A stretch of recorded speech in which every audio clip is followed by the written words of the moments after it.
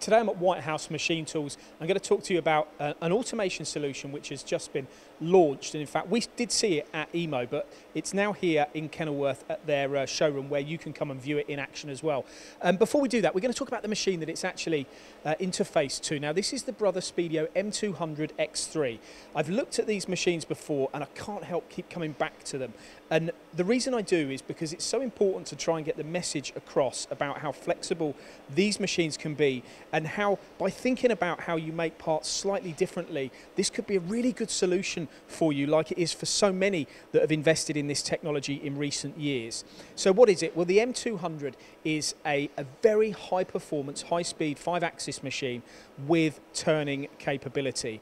Now, what does that mean for you as a user? Well, it means uh, not only can you make those parts very quickly if they're maybe prismatic components and you want to reduce cycle times by up to 30%, I'm told, immediately if you take um, ISI co ISO code from another, say, BT40 machine. You can see that reduction straight away thanks to the speed, acceleration, deceleration, the processing time of the control. But further to that, you can also turn. And this is a perfect example of the type of part that's being made on this machine.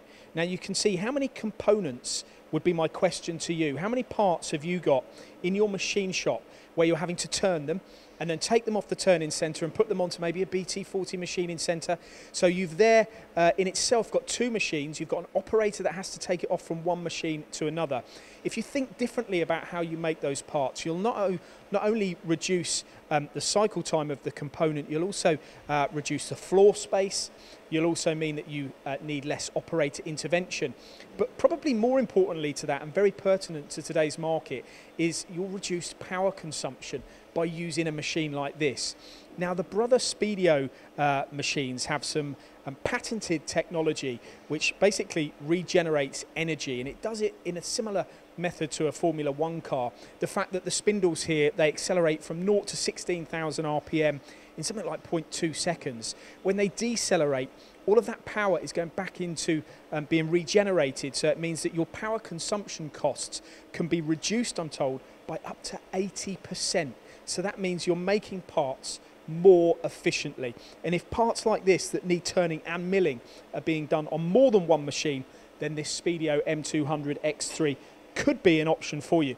Now that's just the machine.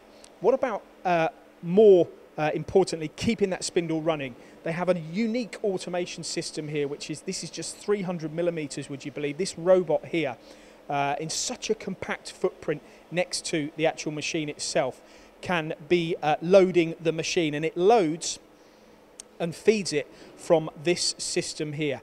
Now, this is a BV7 870 loading system. It's got 10 pallets in here, and you can see it's stacked with billets. Now these billets uh, can then run through the night, the machine can run unmanned over the weekend, and it would essentially mean that the spindle is turning um, continuously, which is so important in today's market, but it'd be doing it at that reduced power consumption as well, which is even more important. The overall footprint of the machine, it's not just the automation that's compact, but look at the size of the machine as well. If you're thinking about multitasking machining, you're normally thinking about machines that would maybe be, I don't know, five, six meters in length, two or three meters in depth, and then the height to go with it.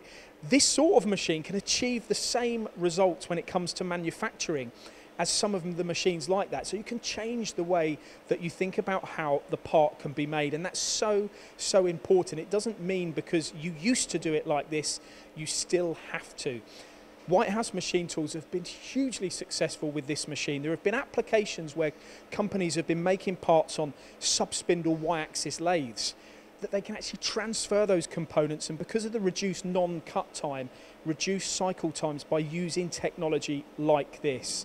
Now, um, if you talk to Whitehouse Machine Tools, they can obviously supply these machines out of the box like you see here, but also provide you with a turnkey uh, project which can not only prove to you or show you that you can reduce those cycle times. They can actually implement it as well for you. Um, this is a solution to me, really is something for the future.